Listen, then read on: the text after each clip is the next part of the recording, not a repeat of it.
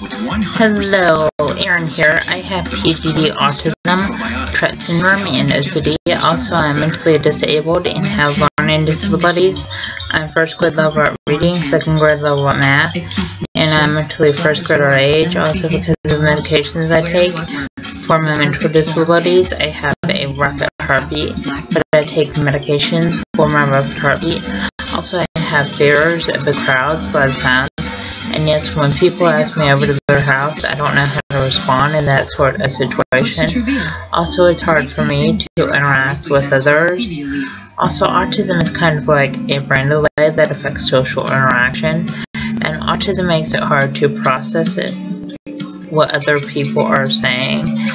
Also, autism makes it hard to process other people hugging and kissing, and autism makes it hard to process other people holding hands. Also, just one left note, the autism makes it where people are anxious around large crowds and loud sounds, and autism makes it where people are anxious wearing backpacks. Also, autism makes it where people are anxious at school all day, and autism makes it where people are anxious on the school bus. Also, autism makes it where people have a hard time shoes and buttoning shirt collars. Also, the signs of autism are lack of social skills, lack of eye contact, lack of speech, and lack of communication. Please describe.